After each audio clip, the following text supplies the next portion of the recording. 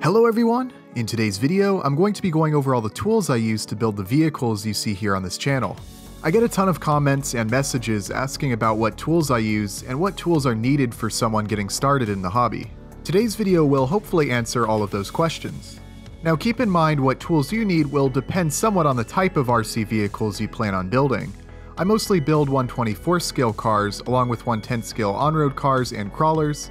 Most of the time I'm working with plastic, but if you're building different RC vehicles or working with different materials, you might need some different tools than what I'll be showcasing, but a lot of them should still be relevant. Also, I won't really be mentioning any name brands, aside from some tools I think are especially good and are worth getting that specific one. This video is not in any way sponsored, and all the tools you see I paid for myself. If you want to get name brand tools or pay extra to have all your tools match, go for it. If you're on a budget and want to piece your tool collection together bit by bit with lower cost items, that works just as well. I'm not here to tell you what brands to buy, just to show you what tools I use.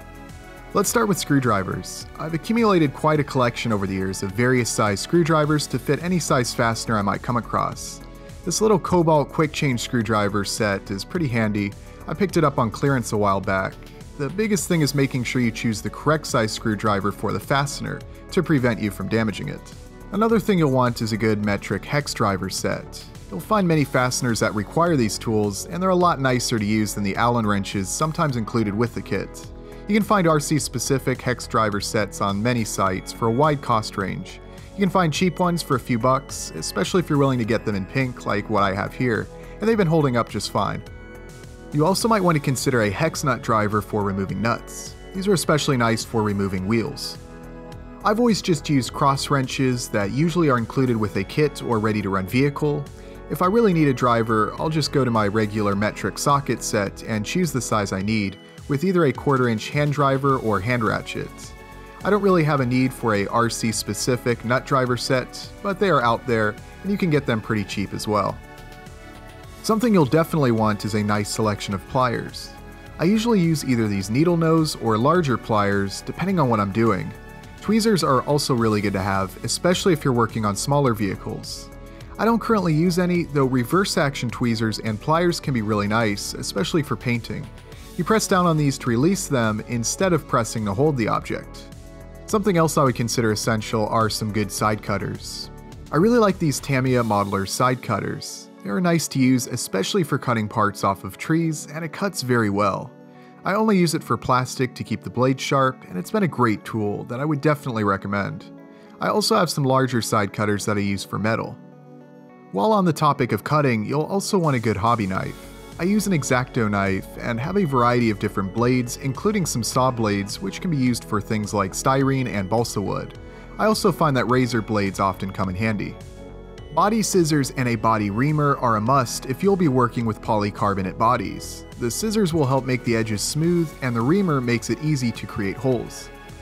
You also might want a hobby hand drill, which is very useful for smaller scale builds. I often like to drill out the holes on 3D printed parts and model car parts to ensure that they are large enough. Of course, for larger jobs, a power drill or drill press can be very helpful. I've also used hand files quite a bit. These are a set from Tamiya which have come in handy many times, especially for bodywork on model cars. A rotary tool is another item I really couldn't do without. There are a lot of different options to choose from. One recommendation would be to choose one with multiple speed settings. Yet another must-have item is a soldering iron. What I use is a basic one from Radio Shack, which gets the job done, though getting one with variable temperature settings is really what you'll want. I'd also recommend getting one of these helping hands holders as well, it makes soldering a lot easier. I often use both a ruler and a digital caliper to measure various things throughout the build process whenever necessary. That's about it as far as the tools I use that are pretty much a requirement to build the cars I often showcase on this channel. There might be some that I'm forgetting, so feel free to post any that you use in the comment section below. Here are several tools that I feel are optional but can be very useful, starting with a hot knife, which you've probably seen me use many times before to chop up model car interiors to fit onto RC chassis. It makes doing this effortless and has been a really helpful addition to my collection.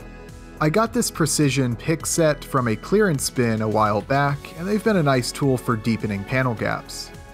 For the sake of transparency, this is one item that I received from CowRC and didn't purchase, but I would honestly highly recommend a magnetic work mat such as this.